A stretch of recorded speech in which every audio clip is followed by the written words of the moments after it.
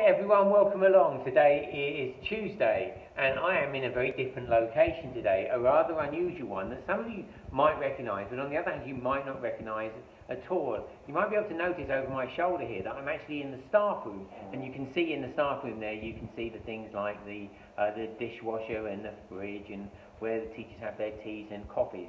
You might also be able to hear in the background that we've got the photocopier going, chugging away in the background.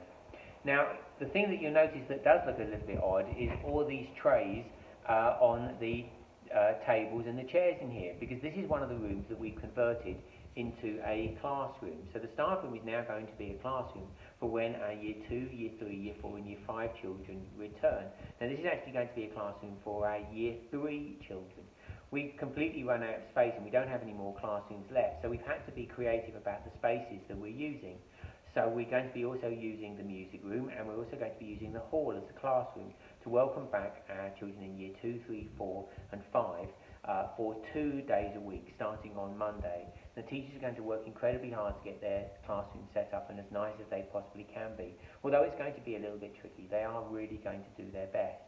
So when you guys do come back, please don't expect school to be like it was back in March when, when you left. Things will be a little bit different will be entering the school by different doors, but it, you do get used to it, and it's not really scary at all.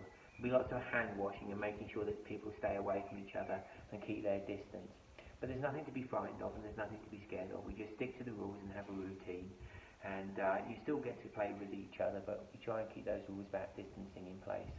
One of the other things that's going to be a bit unusual is we're going to be converting our staff car park into a playground for our year three children as well. And one of the other things that we're having to do in school is because we're worried about too many children using the same toilets, we're bringing in uh, portaloos as well. So portaloos are just standalone toilets, and those are going to be dotted around the school so that some of our bubbles will be using the portaloo toilet because we really have run out of space. And one of the things that we had to do is if we wanted to get everyone back was to make adaptations to what our original plans were or what our school looks like.